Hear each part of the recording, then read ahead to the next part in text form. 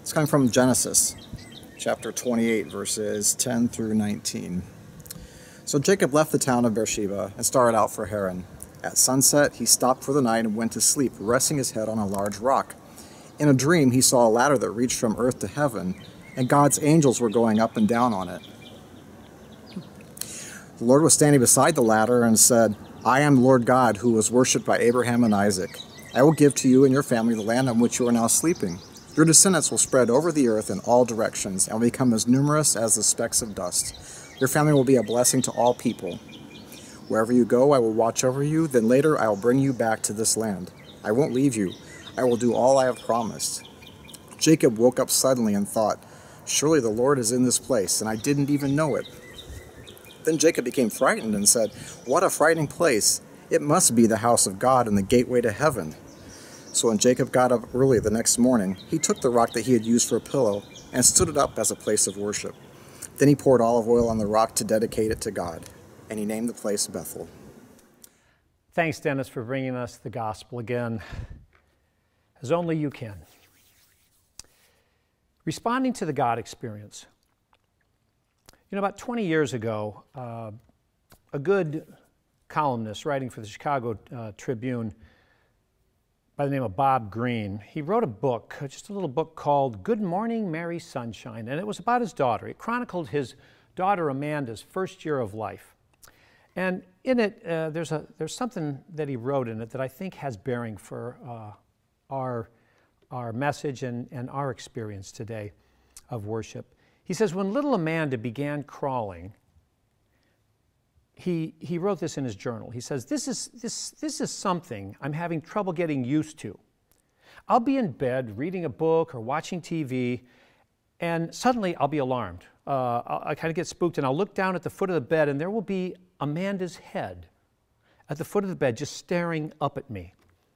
And apparently, I've become one of the objects that fascinates her now. It's so strange. Uh, after months of having to go to her to get her attention, she is now choosing to come to me. And I don't know quite how to react to it. All I can figure out is that she likes the idea of coming in and being in my presence and just looking at me. And the most wondrous thing about this to me is that she apparently doesn't expect anything in return. She doesn't want anything she just looks at me. I return her gaze, and in a few minutes, she decides that she needs to be back in the living room, and off she crawls again. Friends, that, that simple and wondrous pleasure of just being in the presence, of looking at the one you love, is what we enjoy as Christians every time we worship God and come to just bask in God's presence, expecting nothing in return. That's the experience that we want to pursue this morning and every morning in worship. And the story uh, out of Genesis that, that Dennis read for us about the, the patriarch Jacob, that's a story of Jacob's personal transformation through his relationship with God. And from what the Bible refers to as the natural man or woman into a spiritual person, which looks a lot more like Amanda but let me explain. The natural man, or at least its Greek equivalent, was a phrase that was coined by the Apostle Paul in his first letter to the church at Corinth. And it was to refer to unspiritual people.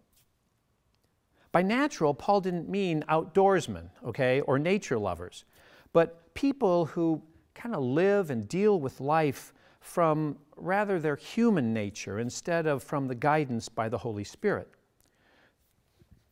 for Paul, the natural man or woman is the very opposite of the spiritual man or woman. Natural individuals now are not necessarily bad people or even necessarily ungodly people. It's not even to say that unspiritual people don't pray.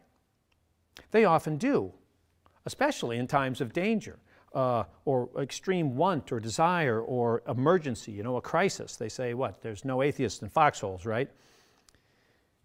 These people will pray sometimes, even as a matter of routine. You know, they often say maybe grace before meals. The only thing is, The prayers of the natural person tend to be more about what that person wants than what God wants. Which brings us to Jacob in our Genesis passage for today. Now, Jacob can be called a natural man if there ever was one.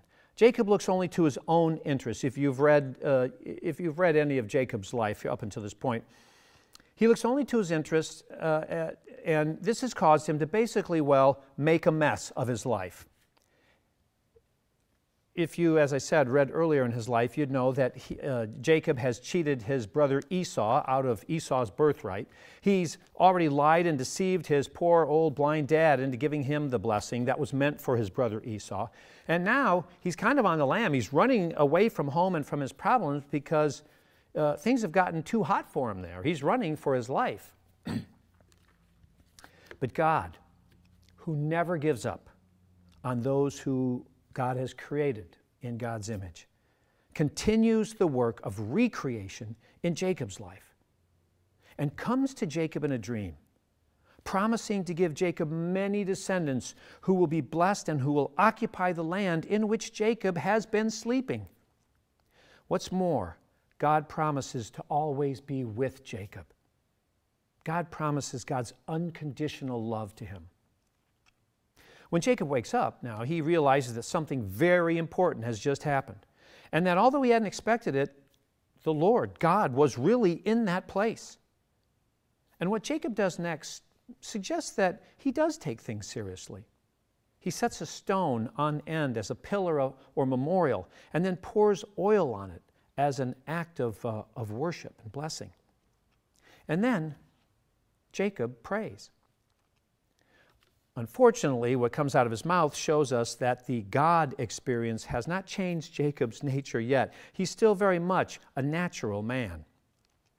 His prayer goes like this If God will be with me, and if God will keep me in this way that I go, and if God will give me bread to eat and clothing to wear, so that I may come again to my Father's house in peace, then the Lord will be my God.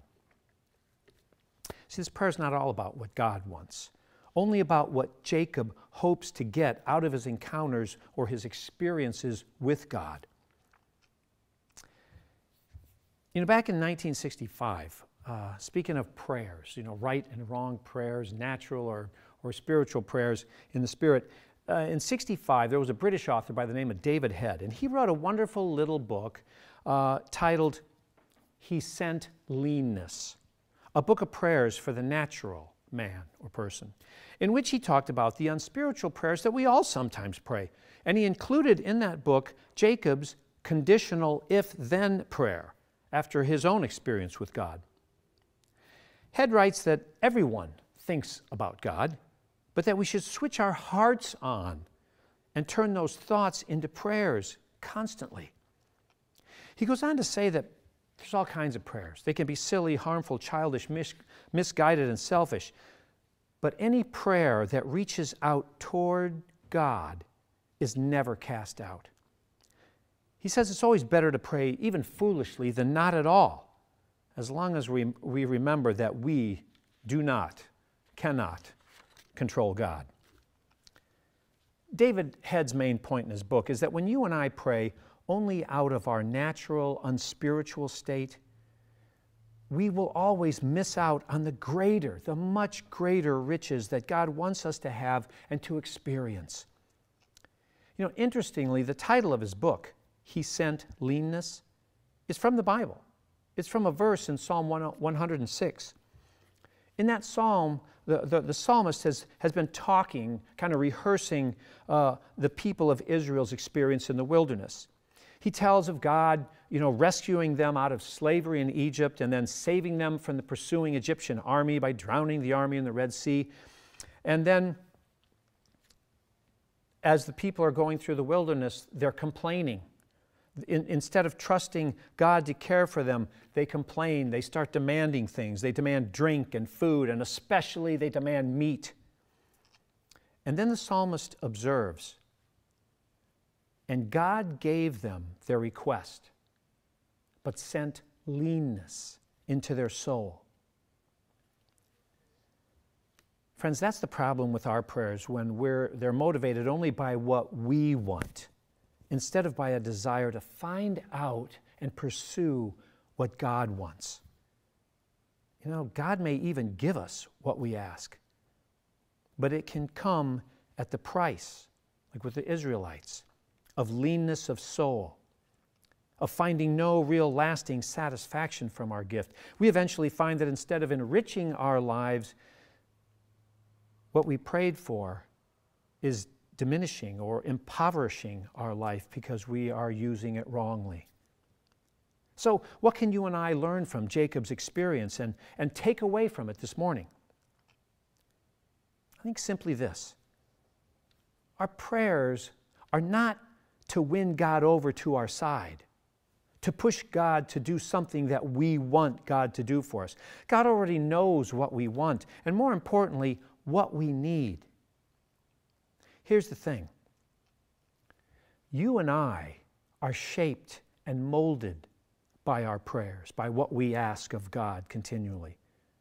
Therefore, we should ask continually for the Holy Spirit so that we can cease to be a natural man or woman and become a person guided and filled with, to overflowing, God's own spirit of love and peace and joy and life. And if we're going to pray honestly, our prayer for the Spirit may have to be one of the natural man or woman right now, you know, at the moment. Something like, Lord, I really don't want to turn my life over to you. I, I want to do my will, not yours. That's just who I am right now. But that's not who I am content to be. So please help me to want your Spirit within me. Now that's a start.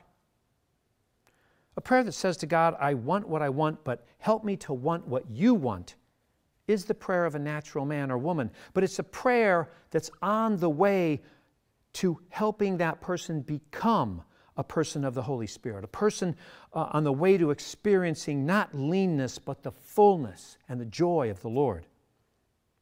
Okay, let's, let's bring, this, uh, bring this home and, and make our God experience personal for each one of us this morning. Um, about the time uh, Bob uh, Greenwood was, was uh, writing his, uh, his chronicles about his, his daughter Amanda, there was another book that came out. It's called Beyond the Worship Wars. It was by Dr. Thomas Long, United Methodist. And, and Dr. Long was alarmed by conflicts that were arising across you know, Christendom uh, in churches about the question over which was right. Was traditional worship or contemporary worship the way to go in music, you know? And so he set out to determine, you know, what makes for excellence in worship. Does it need to be the high church worship and liturgy, or can it be a more casual, you know, contemporary sound and feel? And he interviewed dozens and dozens and dozens of church leaders across the country. He studied actually the top 20 churches that were growing uh, both spiritually and numerically. And their styles of worship actually ranged all over uh, the traditional to contemporary spectrum. But what Dr. Long found uh, were some common denominators. And the common denominators in all of these growing spiritual and numerical churches was they included the qualities of warm hospitality, excellent music, commitment to mission outreach, and thoughtful preaching.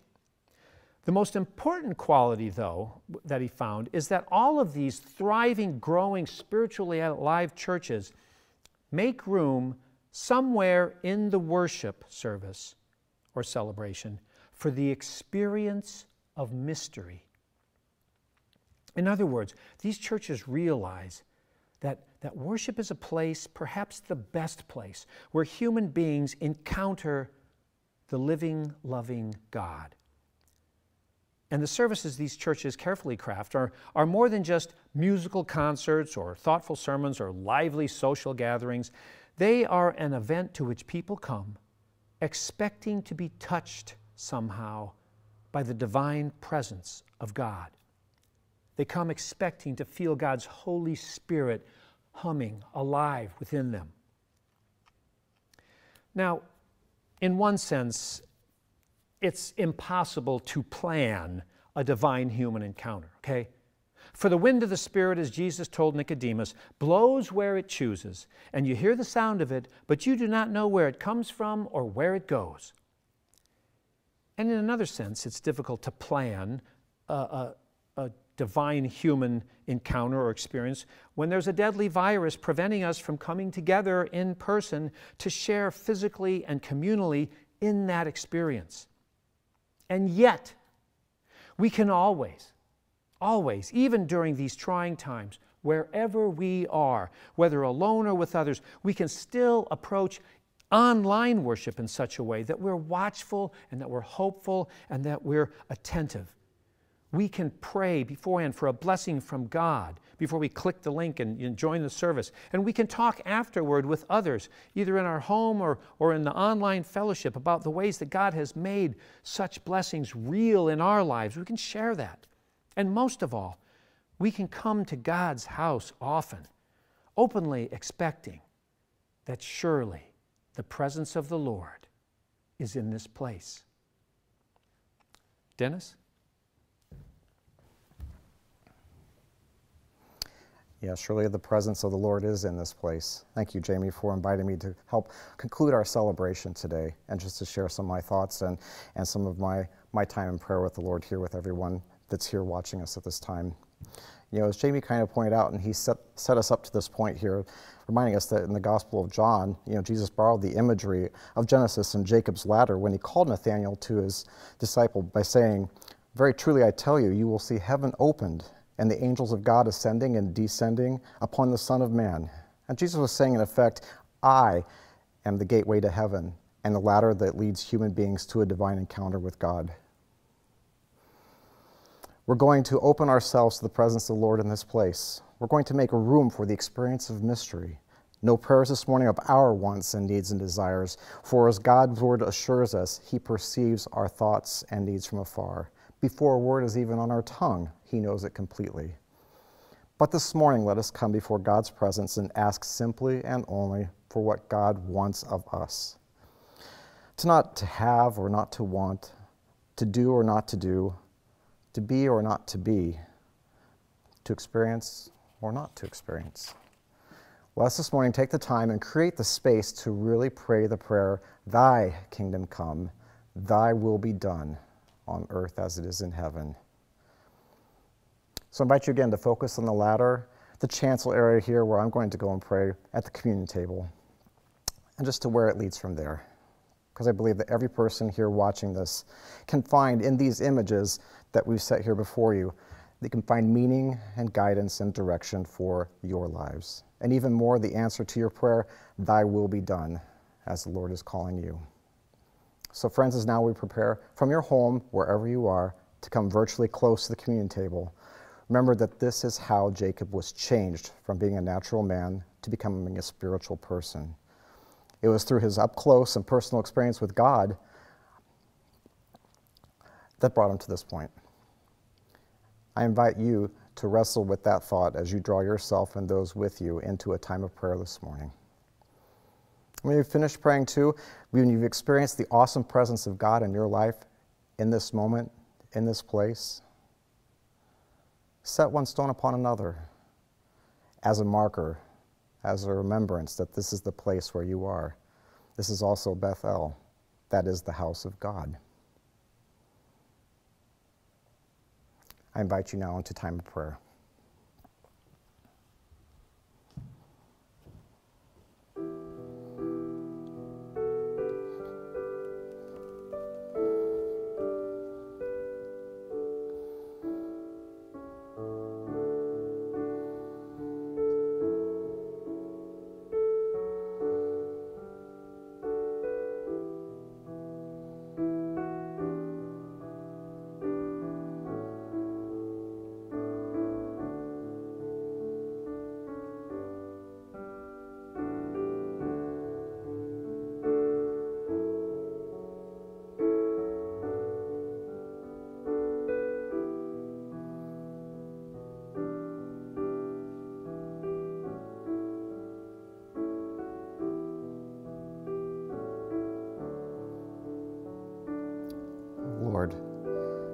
God of Jacob, God of each and every one of us, surely your presence is with us at this time.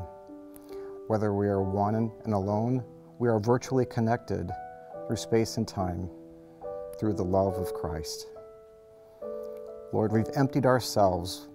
We've made this space open and ready to listen for your word. No thoughts of the material things, no thoughts of our burdens that we have here on our lives on earth. We've put those aside, Lord, and we listen now for your guidance as we look to the ladder, as we look to the communion table, as we seek the bonds of Christianity and the love that unites us.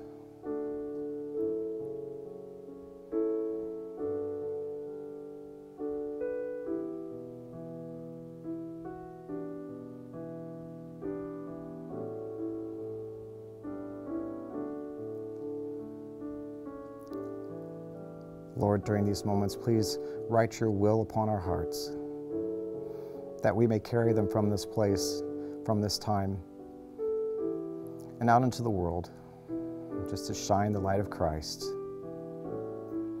boldly and proudly and with love.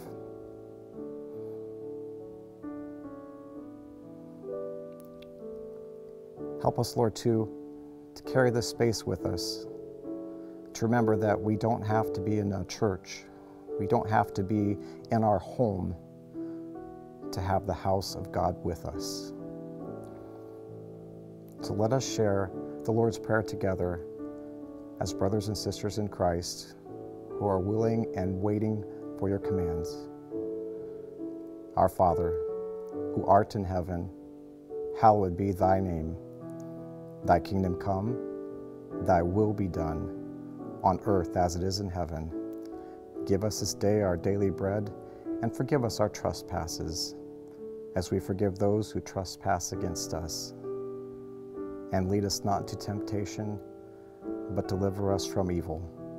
For thine is the kingdom, and the power, and the glory forever.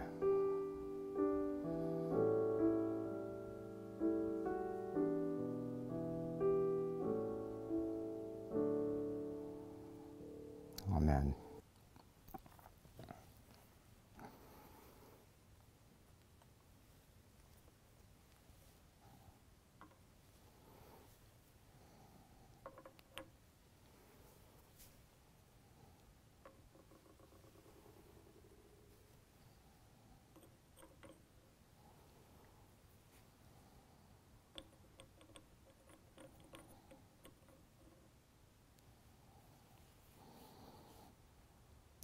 Set a marker for remembrance.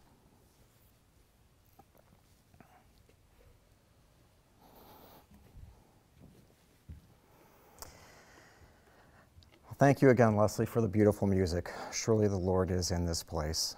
And thank you so much, too, for, for participating in our celebration today.